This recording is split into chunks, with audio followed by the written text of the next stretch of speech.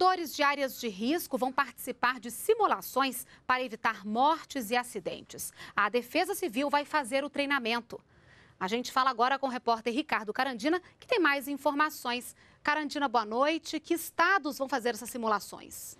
Olá, Renata, boa noite. Vão ser os estados das regiões Sul e Sudeste. E com a chegada do período de chuvas, a ideia é preparar os moradores para agir em situações de desastres naturais, como é, deslizamentos de terras e enxurradas. Quem conversa com a gente sobre este assunto é Vandenberg Venceslau, que é coordenador geral de prevenção e preparação da Secretaria Nacional de Defesa Civil.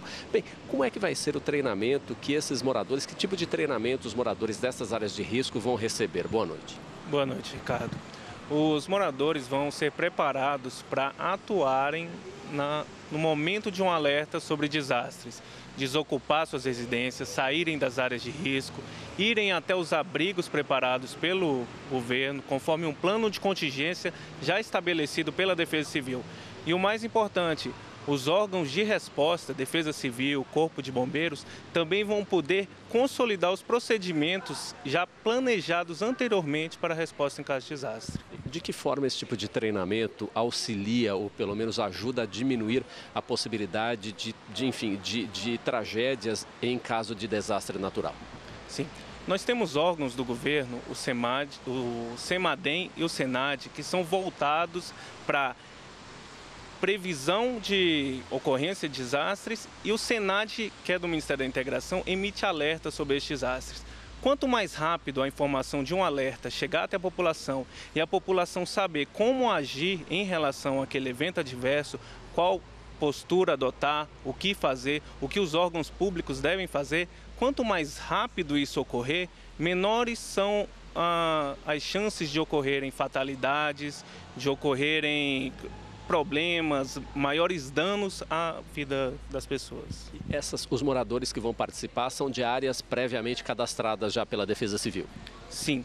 Nós, estamos, nós iniciamos essa semana um trabalho de preparação nos municípios mais, nos estados das regiões sul e sudeste, que consequentemente serão afetados pelos eventos das chuvas agora do verão.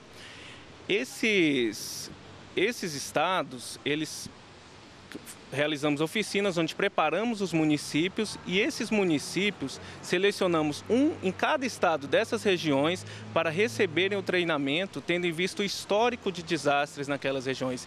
Então, as comunidades que estão recebendo o treinamento são comunidades onde se tem um histórico de ocorrência de desastre e que estão localizadas em áreas de risco. Bem, então, obrigado, coordenador. E, Renata, esse treinamento da Defesa Civil é uma das medidas que são tomadas para prevenir ou para diminuir os efeitos de desastres naturais. Além disso, a Defesa Civil emite alertas, como o coordenador comentou, e também promove o cadastramento de moradores e, eventualmente, a retirada de moradores de áreas de risco. Renata. Obrigada pelas informações, Carandina.